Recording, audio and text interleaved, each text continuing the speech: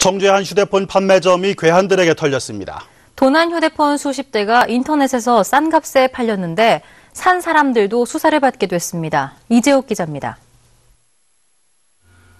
새벽 시간 청주의 한 휴대폰 판매점에 점포 모자와 마스크를 쓴 괴한이 침입하더니 서랍에서 휴대폰을 꺼내 가방에 담습니다. 10여 분 뒤에는 또 다른 남성이 들어와 휴대폰을 훔쳐 달아납니다.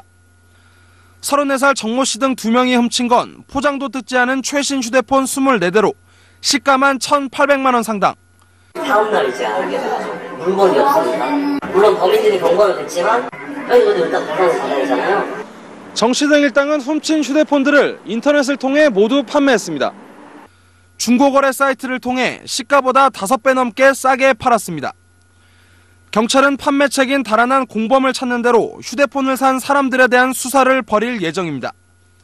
지나치게 싼 가격에 훔친 휴대폰들을 구입했다면 작물인지 몰랐더라도 형사처벌 대상이 될 수 있습니다. 현저하게 싼 값에 구입한 물품은 그 작물이 의심되므로 그걸 취득하게 되면 작물 취득죄로 처벌을 받을 수 있습니다. 실제로 지난 2월에도 훔친 휴대폰들을 헐값에 사들여 되판 34살 이모 씨 등 2명이 작물 취득 혐의로 구속되기도 했습니다. MBC 뉴스 이재욱입니다.